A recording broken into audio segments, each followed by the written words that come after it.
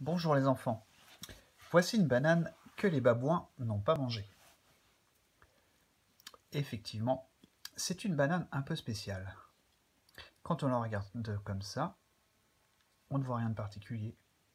Et pourtant, quand on l'ouvre,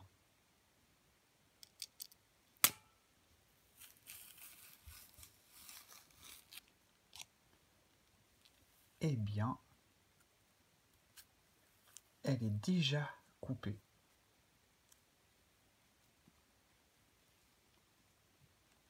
On peut faire cinq morceaux très facilement. Alors, quel est ce mystère? À vous de réfléchir.